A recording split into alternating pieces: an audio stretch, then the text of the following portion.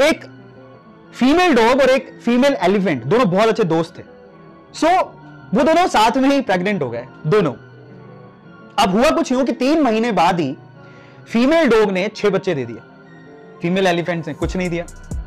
फिर छह महीने बाद उसी फीमेल डॉग ने बारह तेरह बच्चे और दे दिए। फिर छह महीने बाद उसने छह सात बच्चे और दे दिए। सो so, इस तरह से दो साल के अंदर उस फीमेल डॉग ने कम से कम दो दर्जन से ज़्यादा बच्चे पैदा कर दिए। लेकिन उस फीमेल एलिफेंट ने कुछ पैदा नहीं किया। सो so, वो फीमेल डॉग जाती है अपनी बेस्ट फ्रेंड के पास फीमेल एलिफेंट के पास पूछती है कि भाई तू सीरियसली प्रेग्नेंट है क्या? दो साल में मैंने यहाँ पर दो दर्जन से ज़्यादा बच्चे दे दिए। तेरा एक बच्चा नहीं निकला। तो सही में प्रेग्नेंट है क्या? उसके बाद जो फीमेल एलिफेंट ने जवाब दिया वो जवाब वो जवाब सब कंपैरिजन करने वालों को सुनना चाहिए। उस फीमेल एलिफेंट ने उस फीमेल डॉग को कहा, देख, आज मैं तुझे एक बात बताती हूँ, जो तुझे जानने की ज़रूरत है। तो उसने बोला, क्या? तो फीमेल एलिफेंट कहती है कि इस पेट में जो बच्चा है ना, वो पपी नहीं है। जब ये पैदा होगा ना, और अर्थ पे गिरेगा, धरती फील करेगी उसको। जब मेरा बच्चा निकलेगा ना, लोग रिस्पेक्ट करेंगे, रास्ता छोड़ेंगे।